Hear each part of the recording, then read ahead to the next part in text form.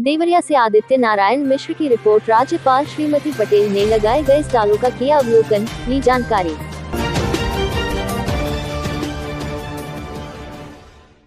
माँ राज्यपाल, उत्तर प्रदेश श्रीमती आनंदीबेन पटेल जनपद देवरिया के निर्धारित कार्यक्रम के तहत पुलिस लाइन में कृषि एवं विकास पर आधारित प्रदर्शनी का अवलोकन की, इसके पूर्व उन्होंने लगाए गए स्टाल प्रदर्शनी का शुभारंभ बंदे फीता घाट को खोलकर की।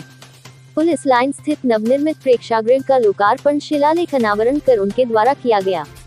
तारांकिन पुलिस लाइन में इस अवसर पर चिकित्सा एवं स्वास्थ्य, राष्ट्रीय आजीविका मिशन, नगरीय विकास अधिकरण डोडा कृषि विभाग, मत्स्य, कृषि रक्षा, सामाजिक वानिकी, फ़सल अवशेष प्रबंधन, उद्यान, एक जनपद, एक उत्पाद, राष्ट्रीय लघु उद्योग, राष्ट्रीय सूक्ष्म, लघु एवं मध्यम उद्योग, वन स्टॉप सेंटर, विज्ञान एवं प्रौद्योगिकी, पंचायती राज आदि विभागों की प्रदर्शनी स्टालें लगाई गई थी।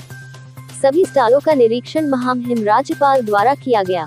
एक एक कार्य प्रदर्शनियों की जानकारी स्टाल में उपस्थित अधिकारियों से उनके द्वारा लिया गया।